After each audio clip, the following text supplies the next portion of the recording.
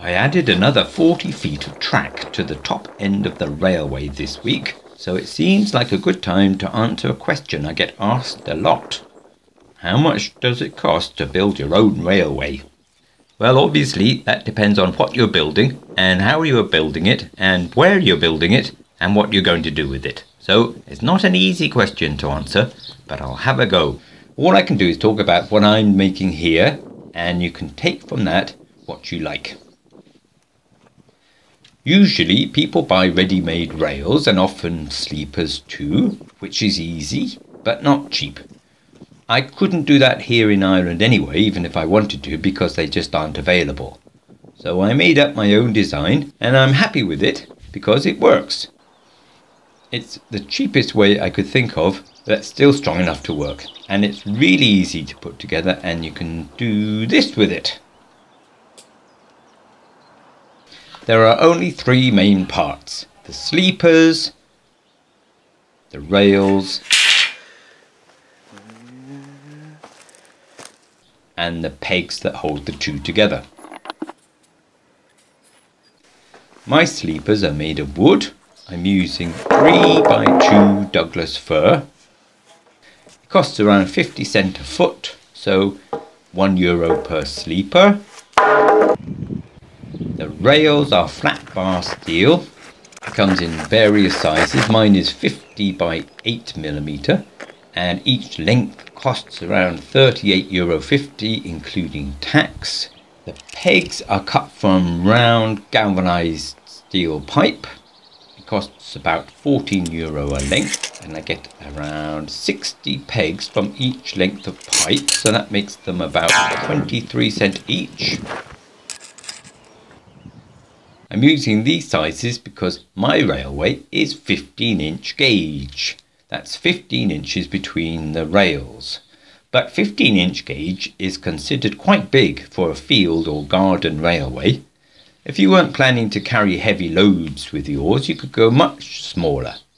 12 inch gauge is much more common, and 7 and a quarter inch gauge is more common again. And if you built that size track, you could use lighter materials and still carry people around. A bit carefully though. and you could have tighter turns as well. But mine is for carrying heavy logs around and other things, so I'm happy with the gauge I chose and the materials I'm using to make it.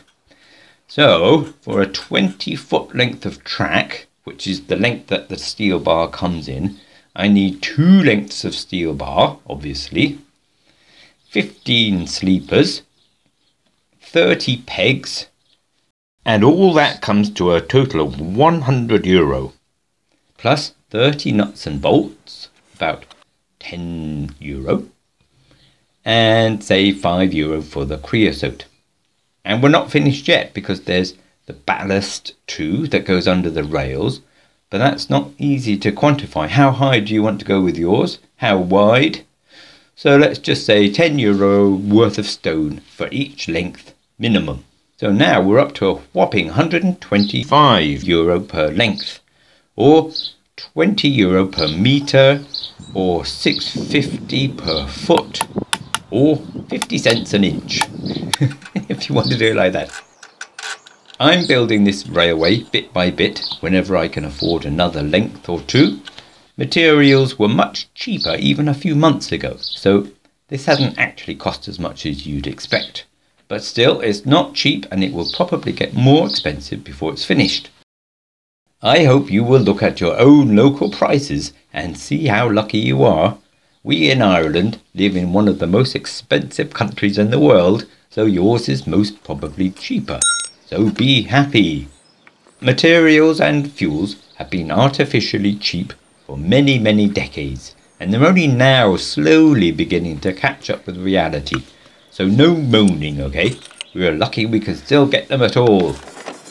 I really like my railway, and it's now nearly 200 feet from one end to the other, plus the sidings into the drying shed. Of course, with all the money I've spent, I could perhaps have bought a dodgy old quad bike or something. But then I'd need a track for that to go on, or else everywhere would be mud, and that would easily double the costs. Also, Where's the fun in that?